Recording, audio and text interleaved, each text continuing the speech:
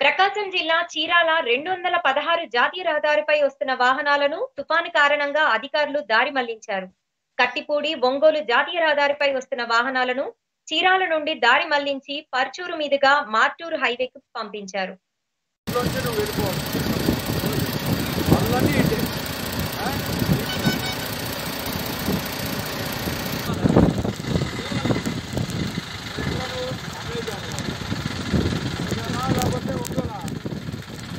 చేసామంటే యాద చేస్తారు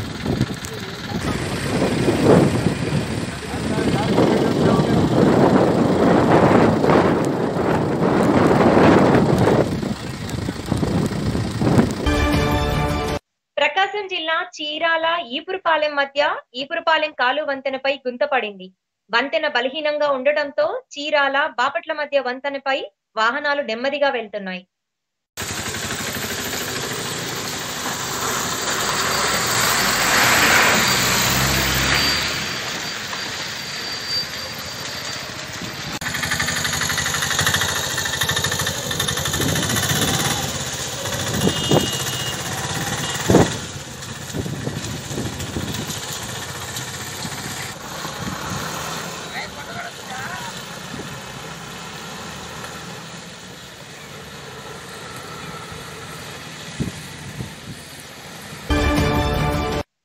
ప్రకాశం జిల్లా కారంచేడు స్వర్ణ పర్చూరు ప్రాంత గ్రామాల్లో నివర్ తుఫాన్ ప్రభావంతో భారీగా కురిసిన వర్షాలకు పంట పొలాలు నీట మునిగాయి.